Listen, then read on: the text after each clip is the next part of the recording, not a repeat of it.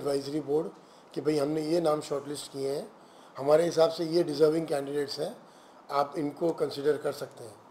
उसके बाद the advisory board takes it forward उनको मेल भेजना, उनसे कंकरेंस लेना, उनकी अवेलेबिलिटी चेक करना, वो उस टाइम पे पॉसिबल है, उनका आना कि नहीं आना and accordingly we try to take it forward possibility और लोगों का जुड़ना, मैं नहीं चाहता या मैं नहीं सोचता कि कोई इन जूरी मेंबर्स को मैं, हमारा कोई भी थॉट है छेड़ना बिकॉज़ हमारी जूरी इज़ वेरी लाइट आज इंडिया की हिंदुस्तान की टॉप जूरी मेंबर्स हमारे साथ में हैं for every segments and trust me non biased होना और एक अवार्ड को एक अपने आप में एक उस चीज़ का एक स्वरूप दिलाना कि भाई एकदम totally non bias non biased awards दिए गए. दैट इज़ वेरी इंपॉर्टेंट और हमारा वही प्रयास है और कोशिश आखिरी दम तक यही रहेगी कि इसमें कोई हमारी उंगली नहीं उठा सके। सर बॉलीवुड में जिस तरह के अवार्ड होते हैं हर आए दिन एक ना एक अवार्ड रखा है। कुछ लोग स्पॉन्सर के लिए अवार्ड करते हैं कुछ लोग एक दिखावे के लिए करते हैं। एक बार हुआ दूसरी बार खत्म।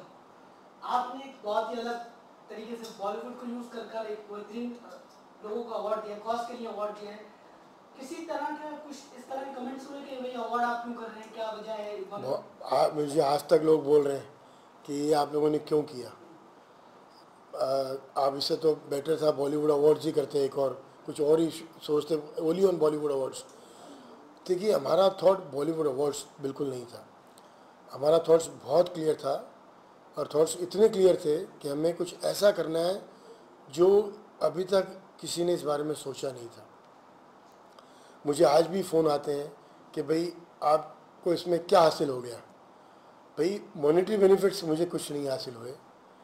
बट एक सोलेस एक थॉट एक वो एक फील फैक्टर कि हम कुछ ऐसा कर रहे हैं, जहाँ हम हमारे अपने दोस्तों को, हमारे हिंदुस्तानियों को उस जगह पर ला के बैठा रहे हैं, जहाँ वो ओरिजिनली अपने देश के हैं और अपने वतन आके अपनी मिट्टी की फील करते हैं वो, कि हाँ भाई, हमारे वतन ने हमको फाइनली कंसिडर किया सोचा कि हम इस योग्य हैं और इसलिए हमारा जो उसको हमें इस चीज़ के लिए फेलिसिटेट किया गया।